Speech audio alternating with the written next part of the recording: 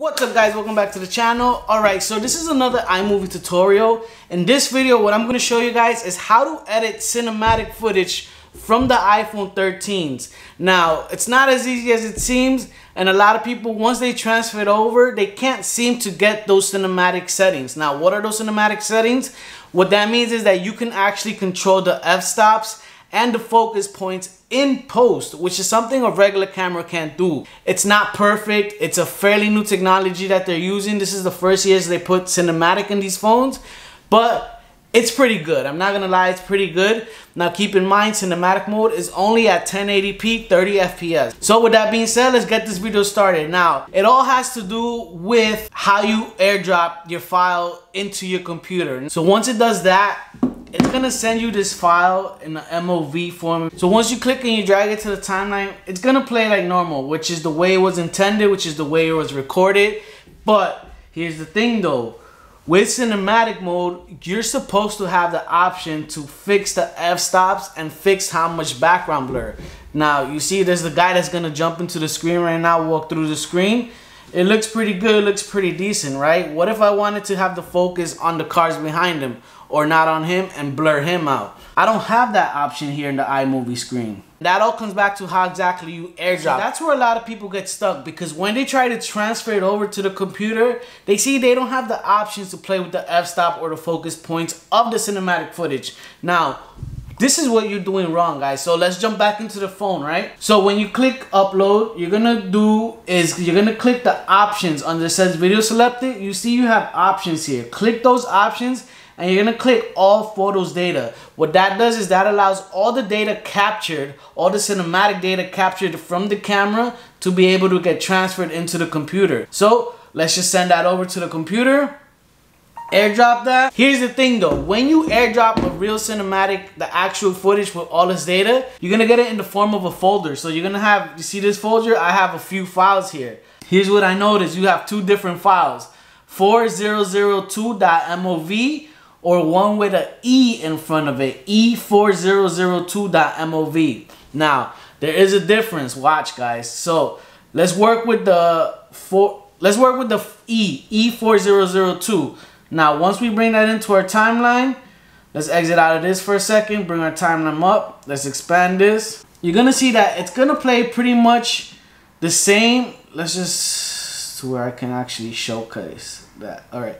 So once the guy walks into the frame, you're gonna see it, it's it's doing the same thing it was doing as if we just uploaded the other airdrop, right? There's no other options. There's no anything that says, "Hey, where's the Where's the cinematic settings, right?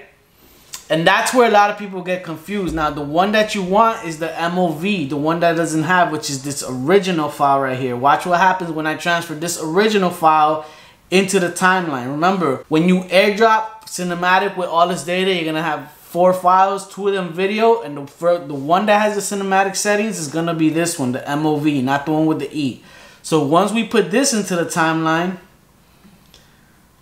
check out what happened guys. Now you see this little camera here.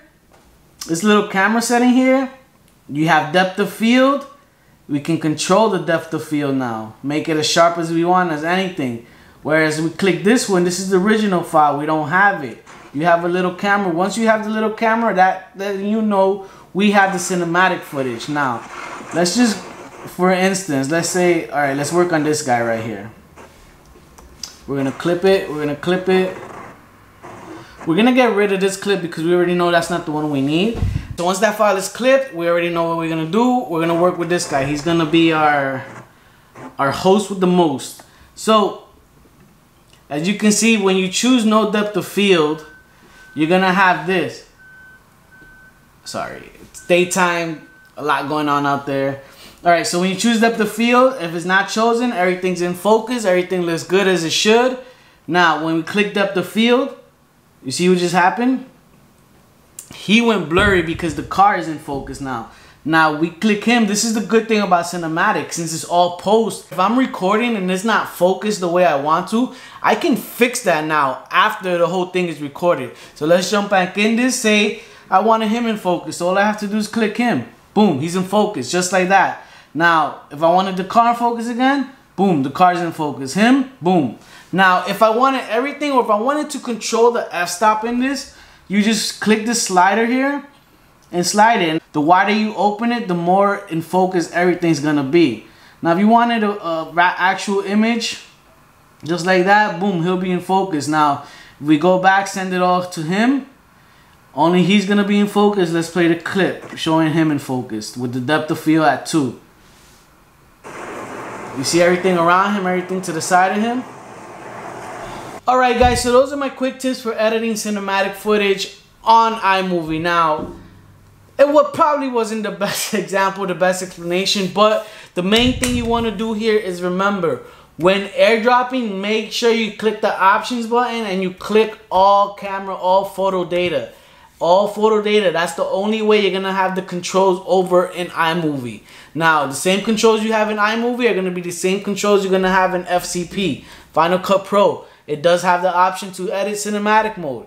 But iMovie's more beginner stage, and like I said in my previous video, I started with iMovie. iMovie's what I've been rocking. I do have FPX, but I am currently learning. Let me tell you, it's a curveball, so it's taking me quite some time.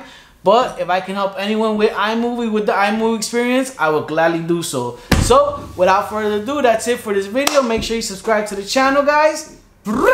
Catch you guys in the next one. Peace.